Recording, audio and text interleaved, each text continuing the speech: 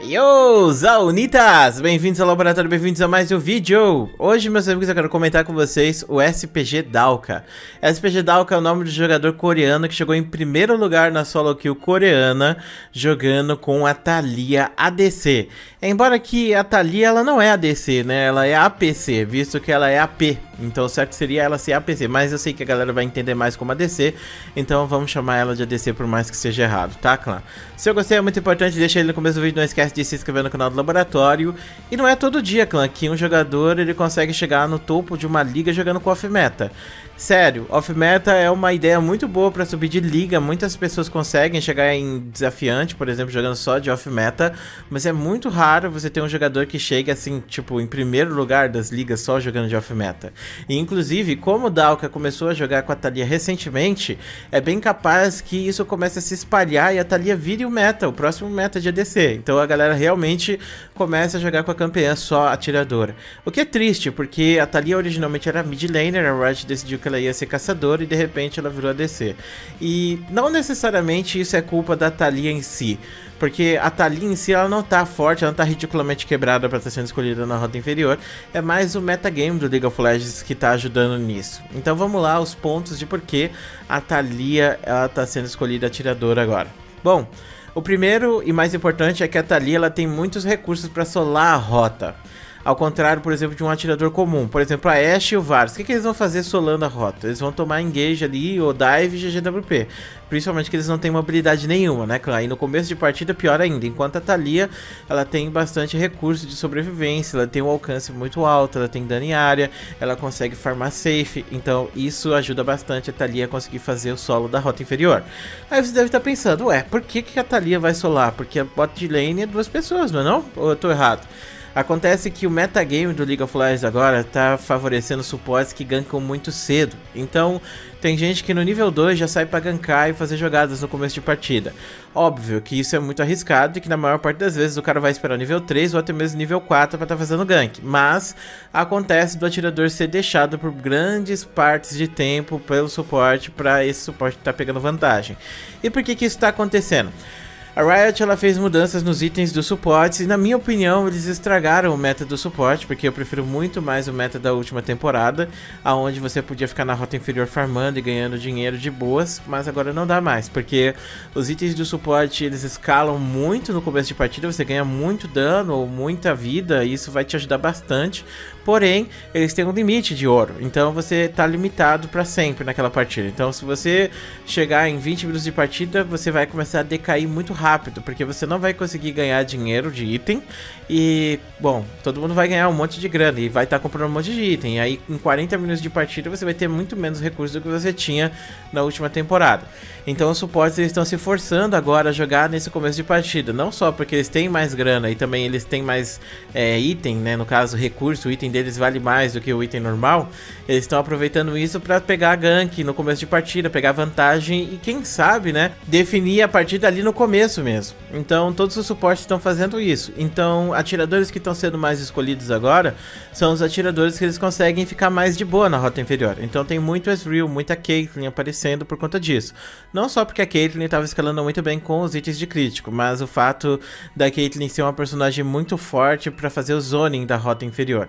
Ezreal também, como eu disse para vocês, por mais que a galera odeie o Ezreal, ele é um personagem que está sendo muito escolhido também por conta de ficar safe ali e não tomar dive fácil.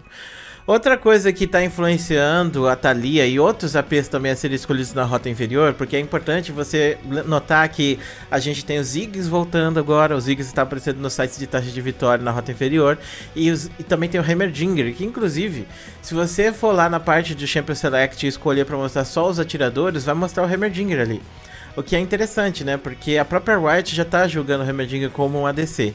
E por que, que o Heimerdinger e os Ziggs ou a própria Thalia estão sendo escolhidos? Porque agora os builds AP eles estão escalando muito mais rápido do que os builds AD. E eu fiz muitos vídeos aqui no canal. Se você não assistiu os meus vídeos da Deep Web, eu recomendo que você dê uma olhada na playlist inteira. Porque lá eu falo sobre as minhas experiências no começo de temporada e como eu tô fazendo só builds AP agora. Porque eu comecei a jogar na rota topo e eu notei que você fazer o dente de Nashor Rabadon vai te dar mais dano do que se você tiver um Gume do Infinito e um item de crítico. Porque o Gume do Infinito vai causar um dano muito grande, um burst, mas ele vai ser muito reduzido pela armadura, que é muito alta em todos os níveis de jogo, e sem contar que o item é muito caro, né? Você vai demorar muito para fazer e ele depende de chance de acerto crítico para funcionar. Então, a Riot nerfou mais ainda agora ele, né? Porque agora você tem os itens de crítico valendo menos, né? Agora eles dão 20% de chance de acerto crítico ao invés de 25 que estava dando antes, e os builds de 100% de acerto crítico no começo de partida não estão existindo mais. Então, antes você tinha como tirar vantagem do Gume do Infinito e até fazer ele funcionar, mas agora a gente voltou àquela situação onde tanto o Gume quanto os outros itens de crítico, eles não estão sendo tão relevantes. E se você não falar do item de crítico, qual vai ser o build de ADC? Vai ser o build de letalidade? O build de letalidade é muito forte no começo de partida, mas ele não escala para final de partida. Enquanto se você estiver buildando AP, você vai estar tá escalando no começo, no meio e no final de partida, porque no final você vai estar tá com 500 de AP e isso já vai te dar um dano muito grande. E como vocês viram no último vídeo que eu fiz sobre isso, eu coloquei lá o build de vários, né, que eu tô escolhendo. E cara, aquele build é simplesmente insano. Na primeira partida que eu joguei com ele, eu peguei um pentakill. E aquele build, ele ajuda muito o personagem que tem dano AP e também ajuda muito ele, porque o build de crítico no Vaz não ajuda tanto ele no começo de partida e nem no final. Enquanto aquele ali, você tem um começo que vai causar muito dano e um final de partida muito mais sólido também. Assim como muita velocidade de ataque e muita sobrevivência também, por conta dos itens de roubo de vida que você ganha ali, de tipo, descer da morte, ou até mesmo a espada laminar Hextech. Aliás, pistola laminar Hextech. Então, tenham isso em mente. Você gosta de jogar de atirador? Você gosta de builds ADC? A maior parte dos builds ADC não tá valendo mais a pena. Então, não é à toa que os ADCs são a pior função hoje em dia. Isso não sou eu que tô falando, tem muitas pessoas discutindo isso. E o ponto principal, clã, é que agora a gente tá vendo muito personagem AP na rota inferior, justamente porque os itens AD não escalam tão bem e os personagens AD não têm tanto poder de sobrevivência. Sem contar que você necessita obrigatoriamente de um suporte o tempo inteiro do seu lado.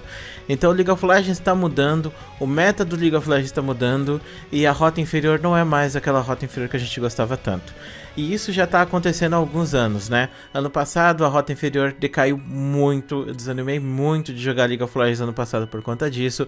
Obviamente vai ter sempre alguém falando, não, porque a rota topo é muito pior, porque a selva é muito pior, porque o jungler é muito pior. Aliás, porque, já, porque o suporte é muito pior, porque o mid é muito pior. Acredite, tem gente que fala que o mid é fraco.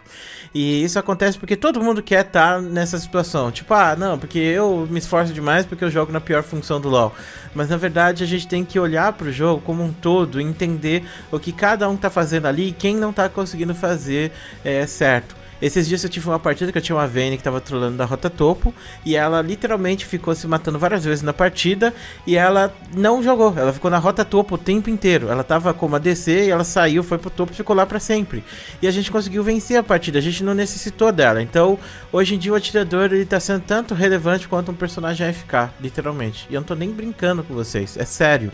E olha que eu já fui main ADC por muito tempo para falar isso para vocês, que hoje em dia vale muito mais a pena você jogar em outra função, em outra role, que você vai ter muito mais potencial de carregar a partida do que se você estiver jogando na rota inferior.